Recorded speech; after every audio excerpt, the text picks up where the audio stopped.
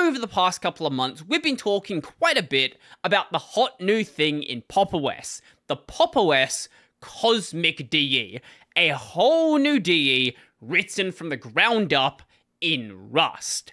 But it's not the only thing that System 76 and Pop! OS have been working on.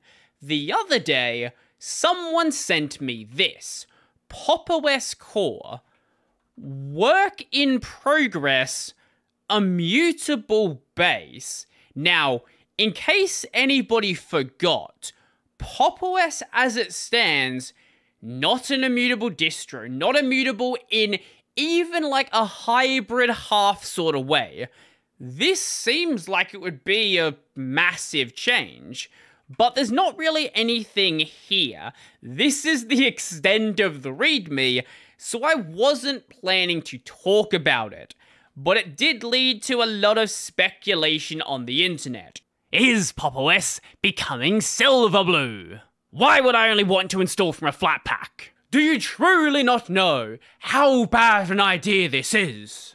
And all manner of unfounded statements based on three words. There were people who were going to drop Pop! OS based on three words.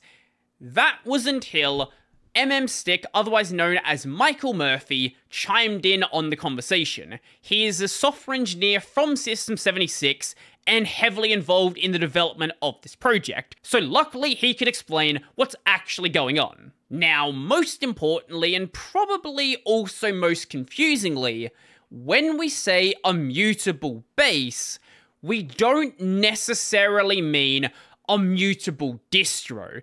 This is something that MM Stick wanted to very clearly separate. These don't mean the same thing turning PopOS into an immutable distro would be a terrible idea and would kill the project. Not because immutable distros are bad, but because PopOS isn't an immutable distro. People who are using it before don't expect immutability, so adding that in would completely confuse people. It would be like Debian all of a sudden being an immutable distro. It just doesn't make sense. Now, I'm gonna read some quotes and expand upon what's being said. An immutable base is having the essential packages pre-installed into an image that's mounted on boot before everything else. For a Debian system, you can create this environment with debootstrap or debootstrap. I guess it's debootstrap. This application is this one right here. Debootstrap is a tool which will install a Debian-based system into a subdirectory of another already installed system. It doesn't require an installation CD, just access to a Debian repository. It can also be installed and run from another operating system, so for instance, you can bootstrap to install Debian onto an unused partition from a running Gentoo system. It can be used to create a root file system for a machine of a different architecture, which is known as cross debootstrapping. There is also a largely equivalent version written in C, called cdebootstrap. what a name! cdebootstrap which is smaller. So the simple idea is creating this core part of the system using an application like debootstrap. They didn't actually confirm whether that is what they're going to be using, and then that's going to be separate from the rest of the system. And he goes on to say, an immutable base can be used to create a pure immutable OS but it's not necessary to enforce that for the entire OS. So if for whatever reason in the future they wanted to have Pop! OS immutable, they could go and expand that to be the entirety of the root. But in this case, that's not what they're doing.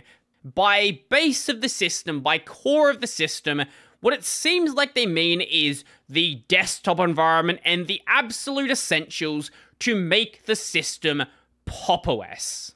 I don't know why you would be, but you probably don't have to be worried about an immutable Pop! OS existing. He also goes on to say, pure immutability comes at the cost of some user experience, since a lot of the ecosystem isn't designed that way, so a hybrid approach combining the better aspects of both will be easy to use in practice today. So while there is tooling like Flatpak snaps and AppImages, a lot of the applications you want to install are not going to be available in those systems. And up until very, very recently, we didn't even have tools like DistroBox. DistroBox now and also Apex on Vanilla OS and the uh, the Blend OS package manager, these make it incredibly easy to install any application you want on your system. But it doesn't address everything. It's still not going to address drivers or custom kernels and things like that. So you still want to have some way to address those particular issues. ABRoot, OS Tree, other solutions available out there have different approaches for going and doing so, but they're always going to be less convenient than having to have this immutable system workaround. Now, there's also the question of how does this immutable core, immutable base, actually play with the rest of the system. So what's going to be done is you can have an immutable base and then use OverlayFS to layer a mutable file system on top of it. Then you can offer an OS with an immutable base with atomic updates and have apt working as normal in the mutable layer on top of that. So OverlayFS is something you probably maybe have not have heard of. This is probably the best explanation. This is from the kernel patch when OverlayFS was added back in 2014.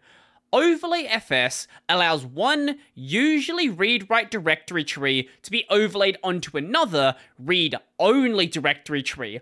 All modifications go to the upper writable layer. This type of mechanism is often used for live CDs, but there's a wide variety of other uses. The implementation differs from other Union file system implementations in that after a file is opened, all operations go directly to the underlying lower or upper file systems. This simplifies the implementation and allows native performance in these cases.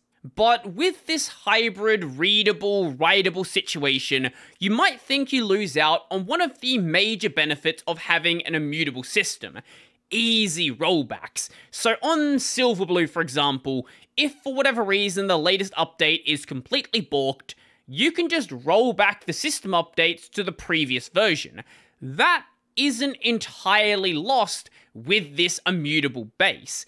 So through the use of Btrfs subvolumes, it's possible to take snapshots to roll back those changes. Now, with what this hybrid approach offers, you might be wondering how do you install applications?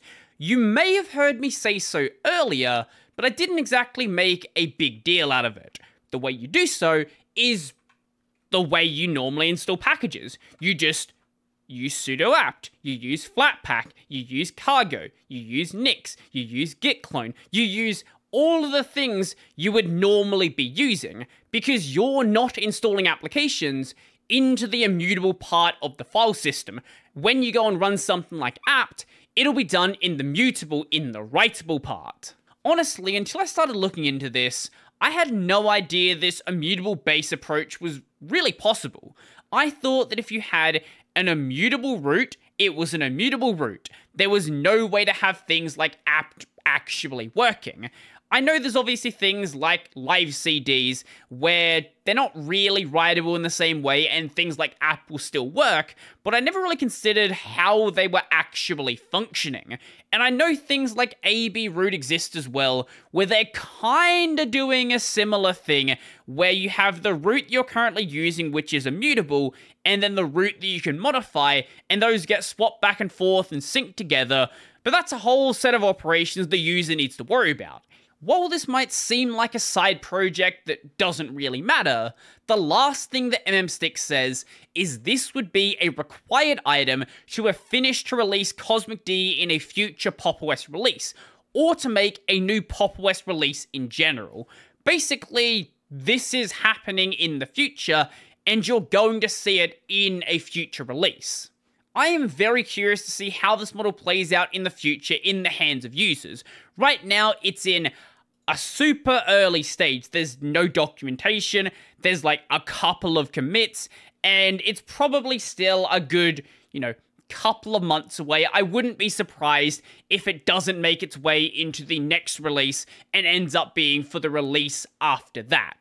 But the best case scenario is users don't even notice that anything changes and go about their day. But let me know your thoughts in the comment section down below. Do you care at all they have an immutable base? Do you think they should go full immutable with a pure immutable distro? I would love to know.